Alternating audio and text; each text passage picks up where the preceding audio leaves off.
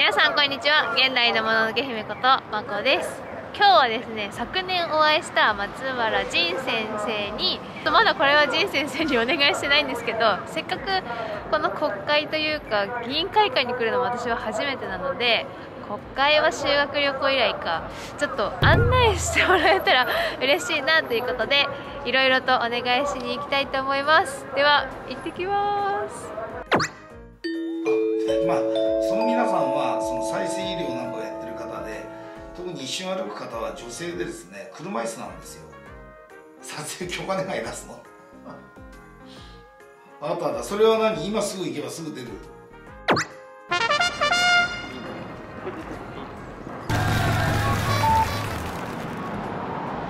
テレビでも見れない。そして、ね、議員さん以外の YouTuber でも公開してない場所をこの YouTube チャンネルで初公開できるのではないかなと思っていますので皆さん最後までご覧くだ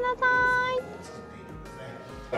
今回やるんですかえこれもタッチパネルなんタッチパネルねこれでえー、え押していいですか？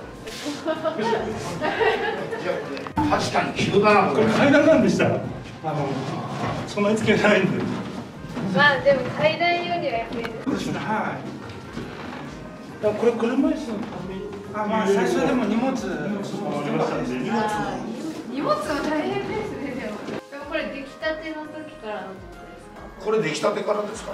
そうですねじゃあ乗りましょうはいこの傍聴席が通常ですねえカメラが上から撮って予選会映すんですがこの上はもうちょっと車椅子は無理ですね。ここ車椅子で上がる人いませんよね。あの車椅子の場合はあのそちらに席をご用意してあの他の傍聴席ちょっと外させていただいてあのこっち下下からご覧いただくっていう形です。なるほどね、はい。これが次にですね。えー予算ここから見えます？予算会室で向こうにですね総理大臣とか大臣が座って、はい。こちらに議員が座って上からテレビカメラが映すっていうことなんですねで非常にあのここで100兆円の予算が決まるところです。ね、国会議事堂ですねの本会議場ですねだから全部あのすごくこのレースのこのカーテンとい。うかこれも風格がある、まあ、ここで日本の法律が決まるし100兆円を超える予算がここで議決されて正式になりそこに眞子さんのような体のねあの大変な方に対してのその福祉予算がここで計上されるとこういうことになりますね。はい。ここはやっぱすごい。これがいわゆる五重塔の下で、えーここの上で GHQ がダンスパーティーを昭和20年代にやったって話があるえこの上があるんです上あそこ約50畳え入れるところがあるんですか、まあこちらから螺旋階段で入るって言う誰も行ったことない。あのこそこにエレベーターだけどあのエレベーターで7階まで行けないんだよね。行けるんだけどボタンを押してもスイッチがつかないって昨日説明をされて。でまあここにはですね本当はあのまあしここはあの参議院のここから領土なんで 衆議院の領土からはあのビデオ撮れないんでここまでしか撮れないんだけ見えない教科どですここはだからビデオ OK と。で写真を撮るだけだったらそこまでじゃあはい来てくださいこれがあのエレベーターなんですね。すごい素敵。このエレベーター何年ぐらい前からあるんですかね。もう当時昭和11年から。だからもう部品が今不足してると思うんですねこれね。じゃあ行きましょうか。はいみんな乗りますよ。はい。乗ってください扉がちょっとしか開かない。さんの力とみんなの力で。それでしょうか。それを持っちゃうと車輪にならしちゃう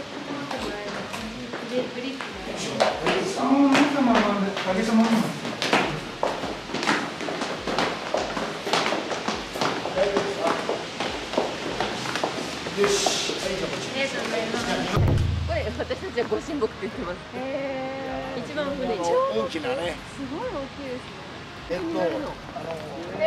これは山形県のさくらんぼ。孫さんのふるさとの山形のさくらんぼですね、はい。これはさくらんぼはいつ？6月。あと3ヶ月か4ヶ月で咲くということでなっすねたら食べるんですか？いいやそれは食べないだろう。国有財産という形なんで、まそれを飾っておくというか。あ、そうですね。はい。わかりましたじゃあ次行きましょ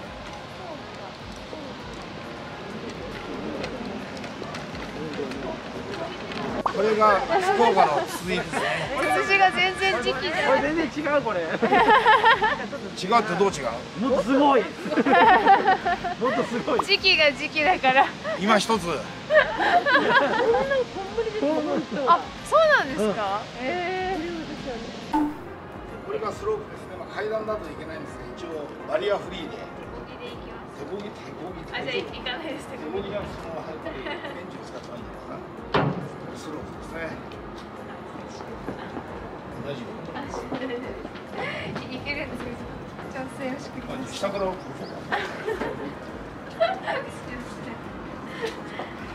ありがとうございます。大丈夫です。写